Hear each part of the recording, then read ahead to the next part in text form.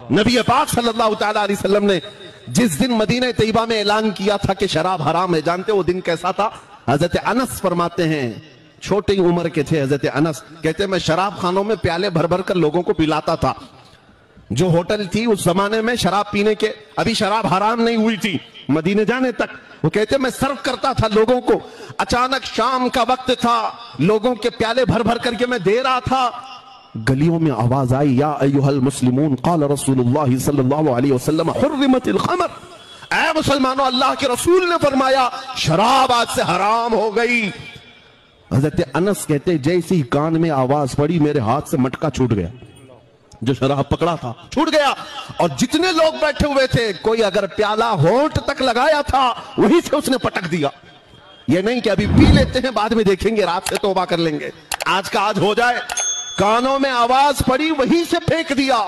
सब मटके तक तोड़ दिए।